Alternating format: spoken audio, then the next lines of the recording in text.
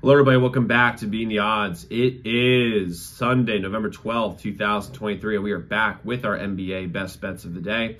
If you're new to the channel, my name is Zach, and welcome to Beating the Odds. Hit that subscribe button, like this video, and notification bell so you never miss a pick. We post these NBA videos every single day, along with the NFL, college football, college basketball, and the NHL. Uh, we're also coming up a huge win year in the MLB as well.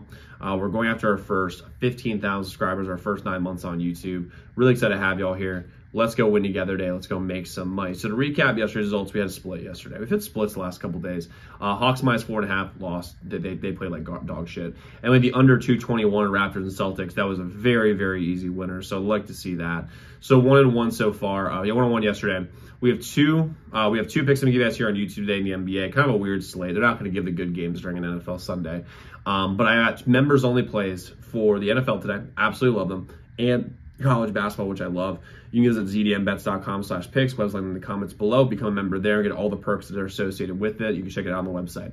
So Let's get into plays we have today. I'm gonna start with first Spurs plus two versus the Heat. Um, the Heat are on a back to back, and when Heats when teams are on back to back, they play worse. And it's not because they can't play two, basketball games in two days, which is the most nonsense thing I've ever heard. Like, oh, we can't, we, we, we get paid $20 million a year. We can't play back to backs. Dumb as shit, but whatever. Um, the Spurs are going to come out. and They're going to come out firing. I think they're going to win this game outright. I mean, that's what you, that's why you bet them at the plus two. Um, but I will take the points as they're giving them to me um, because the Spurs, they got embarrassed on national TV. We had the Knicks in that game, by the way. Easy winner. Easy winner. They won by like 30. Um, and the Spurs are going to bounce back here. Heater off a of back-to-back. They might rest guys. Spurs are not going to rest guys. I like the Spurs here plus two.